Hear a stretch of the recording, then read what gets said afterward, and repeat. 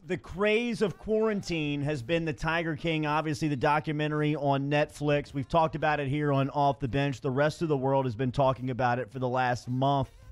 They put out the eighth and final episode on Netflix on Sunday. Meh, eh, eh. You watch it? Yeah. I haven't watched yet. I've been still watching Ozark season three. Um, our girl wasn't on it, but uh, she was one of the mainstays throughout the season. Sylvia Corkill, who's uh, over at News Nine, she's a reporter and journalist up in Oklahoma at News Nine. You can actually find her all over social media. At Sylvia underscore Corkill is where you can find her on Twitter. She also has an IM uh, a uh, IMDb page. Good job. Um, that you can find as well. And she's joining us here this morning off the bench. How common was our bump music playing uh, Eye of the Tiger coming in? How many times have you heard that? I have heard it uh, time and time and time again. Yes. Uh, Sylvia, I've got a very simple question to kick this show off, um, or this interview off. Is anybody on the Tiger King show what you would call or, or qualify as a good person?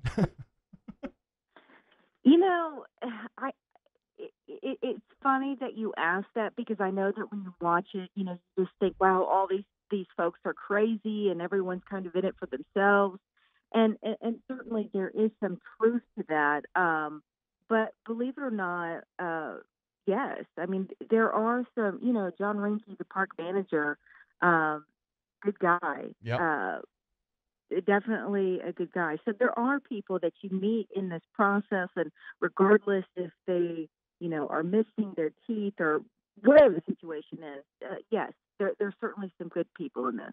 And, and and I guess I should have qualified because I'm with you on Reinke. That's who I said yesterday. That would be my guy that I would take from the show to hang out with. Um, Right. I guess I guess it's more among the headliners. One of which is uh, the now infamous Joe Exotic. Um, I'll, I'll I'll start here. Does Joe Exotic deserve to be in prison right now? Well, I think he he certainly deserves to be in prison. Um, you know, I don't think that there's any question about that. That that there was certainly some abuse that went with those animals, that went on with the animals. I mean, he admitted to killing uh, five of those tigers. Um, that you know they testified were in good health, contrary to what um, he said what's going on. You know, he said he wanted to put them out of their misery. That's why he shot them. But you know, vets got up there and said otherwise. They were Oh, good wow. health. They they showed their teeth. You know, their teeth weren't missing like he had claimed that they were. Um, he essentially said, you know, they would starve to death, and uh, you know, the vets got up there and said otherwise.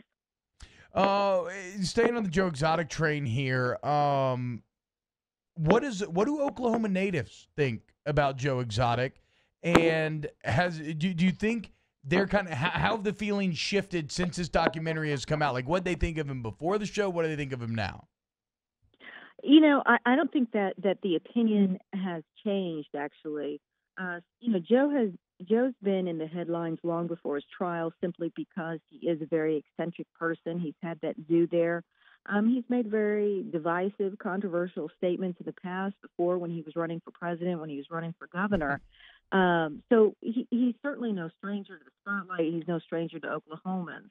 I think the only issue that Oklahomans take with the Tiger King is that they feel like um, that maybe the the few individuals in that document have been used as a barometer to to, to kind of measure the rest of the state and its people. Uh, Sylvia Corkill, who's joining us here, she's from uh, News Nine up in Oklahoma. She joined the team in 2016, but you're a uh, you're an Oklahoma native. Um, how long? I, I guess you kind of you kind of alluded to it there in your last your your last answer. But how long has Joe Exotic been been in the news since? I guess you being from Oklahoma, how long have you known about him and the zoo? Uh, well, you know, I have heard about Joe uh, since well before, like I said, either one of his campaigns, and it's simply because of the zoo.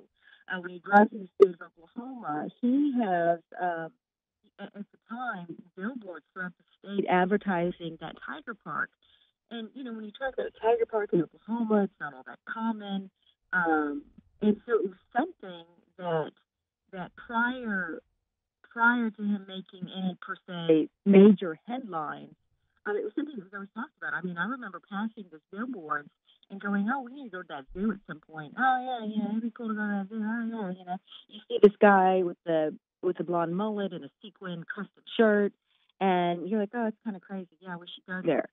Um, so when when everything really started to take shape, when he started to, to campaign, and this thing got bigger and bigger, I remember thinking, oh man, I really should have gone to that zoo. Talking to Sylvia Corkill here on Off the Bench. Uh, what, what, what's the biggest misconception that you think that the public has about all of this that you, in covering the story so closely, maybe kind of want to get out there and correct?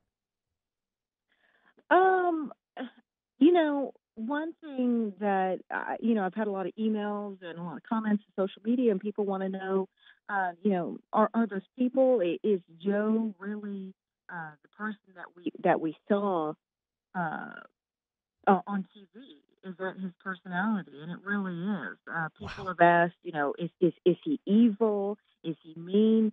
Um, and and I'll say this, you know, Joe has has loved the limelight from the very beginning. All he has ever wanted to do is to be famous, and um, there has been he has uh, some uh, he has a very endearing quality about him, and this is what I told the producers of Tiger King. He has a very childlike quality that even though he faced all these charges, you know, he has a huge uh, following right now, and even prior to this, um, did because he has a knack for saying exactly what he should say at the right time. And there's something very um, innocent about him, you know. And it, you know that he's faced these charges. You know that he was charged. He was convicted. Um, but he has he he certainly has a way with words. Yeah, he does. It seems like anytime he can tell you that Carole Baskin killed his hus- killed her husband, he does that. Yeah. Um, Sylvia, did Carole kill her husband? you know, I can't answer that question. How many times have you been asked I that? Oh, uh, I, I mean, it, it, it, whether it be um, on a question answer, I certainly get that question, or just from my coworkers, from my friends. They all want to know. they all want to know the details, the background. Did we know about it before? You know, we agreed to, do this docu series. Uh, it, it's certainly the number one question. Was there ever a moment in all of this, Sylvia, where you were just shocked? Like, like even knowing kind of the general setting and how crazy it all was as you're going into this thing, was there ever a moment where you were just taken aback? You know, I, I don't think that there was a moment uh, with the individuals that, that anything that ever shocked me um, because what's interesting about really every individual that you see in this docu series, um, the one thing they absolutely all have in common, you know, not just the tigers, but they are uh, they are themselves to a fault. okay, they are not hiding anything. They make no apologies. Um, so really, as this went on, one thing that I learned was that there was there was nothing that could ever really surprise me. The one thing that did um, really had nothing to do with what they could say, but it was just uh, what this trial exposed um, in the animal industry, and that was just kind of the underbelly of it all, of what really happens, you know, with these animals, what happens when you go to quote unquote pay to play, um, and the existence, the the meek existence that they all live um, in order to, to accommodate us.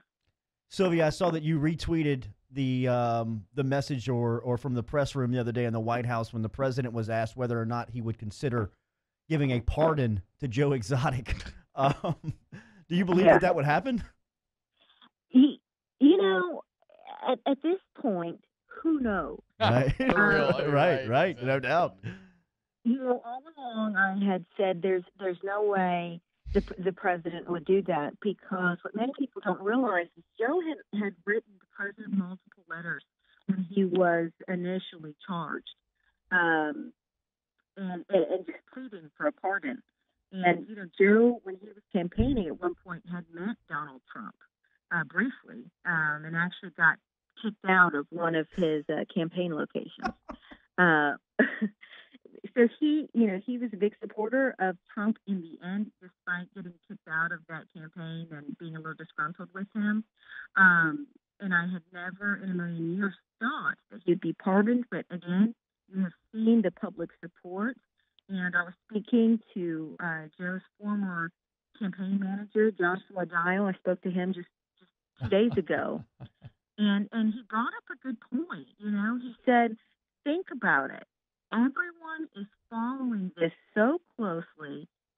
Popular would the president be if he were to pardon him? I gotta believe that our president has thought about that with the way that he thinks about himself for sure. So, uh, I, ratings. I, I'm like you. I'm like you. Yeah, right. Don't hold your breath. It could happen. Um, Sylvia, this was great. I, I'd imagine that you have uh, you have requests. Has that been wild? The request, the amount of request for you that, that that's come Yes. across? Yeah, I'd imagine. Yes, I, I I never expected anything like this, and honestly, we've just been so busy with COVID um, that you know a lot of people said, you know, why aren't you tweeting more? Why aren't you messaging us more? You know, I asked you this question seven days ago, but we are just so overwhelmed with what's going on at COVID.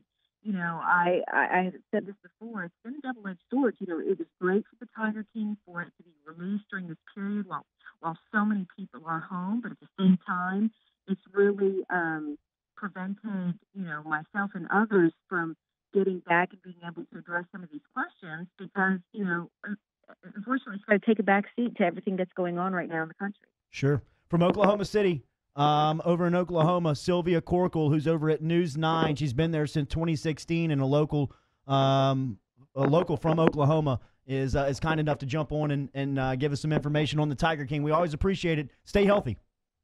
You do the same. Bye bye. You got Thank it. you so There She much. is uh, Sylvia Corkill checking in